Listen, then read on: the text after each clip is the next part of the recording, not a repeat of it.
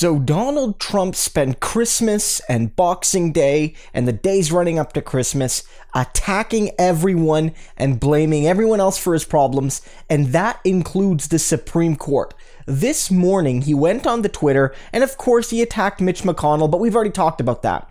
But here, he's calling the Supreme Court weak and totally incompetent. And the reason he's doing that is because they wouldn't rule the way he wants to rule. And also, they won't follow him down the garden path with his conspiracy theories and his absolutely undemocratic plots.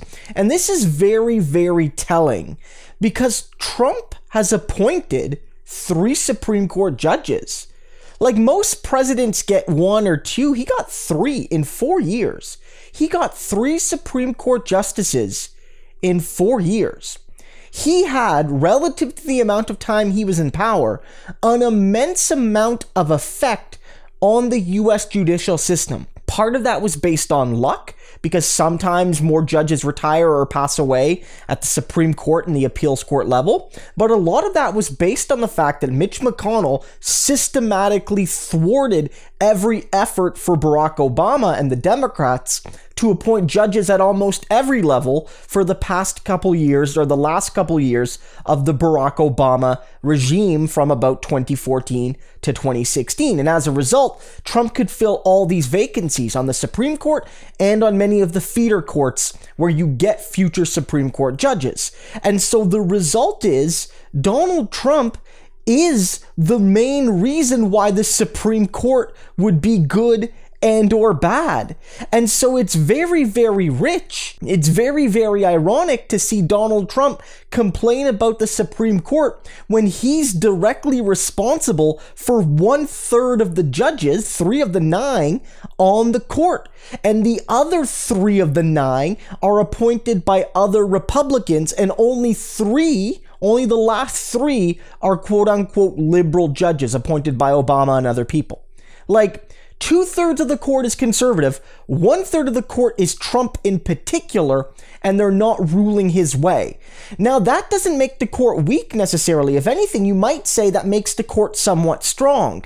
That Trump's own appointees, at least on cases that are egregious, refuse to just automatically rule his way. If the court was weak and incompetent, you would have seen Kavanaugh and Gorsuch and Amy Coney Barrett all without question tolerate Trump's attack on democracy because they quote unquote owed him. That was the fear. And look, I had that fear as well.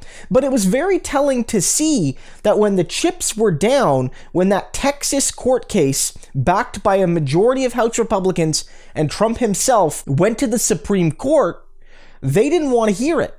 Seven of the nine judges said it's not even worth hearing. This case is so ridiculous, Texas has no standing, it has no basis to be heard in this chamber. Reject it. Two of the nine said we'll hear it. That was Alito and Thomas, but neither of those were Trump appointees. Trump's own conservative appointees agreed with the three liberals and said, actually, we don't want to hear this case.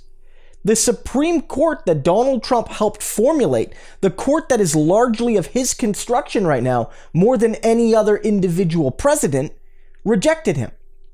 And that's why he's freaking out.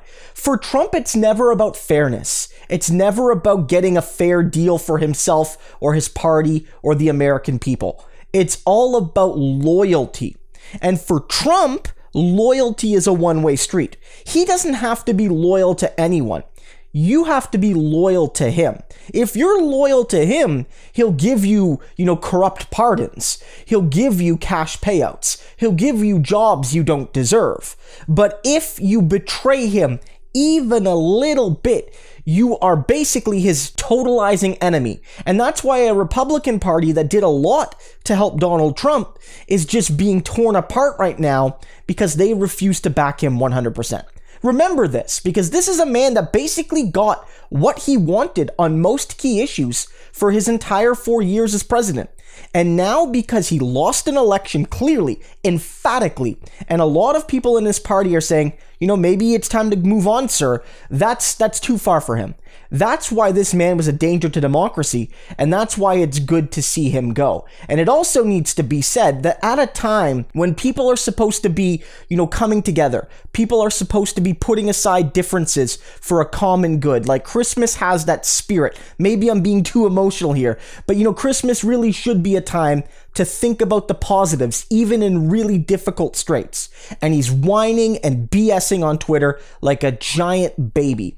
And it also has to be said that at a time when the American people are suffering, and he's sort of vaguely tweeting about getting people extra stimulus money, which is good, he's not actually doing the fight for that. He's simply complaining about his own grievances. The American people deserve a president that cares more about them than their golf score or their own ego.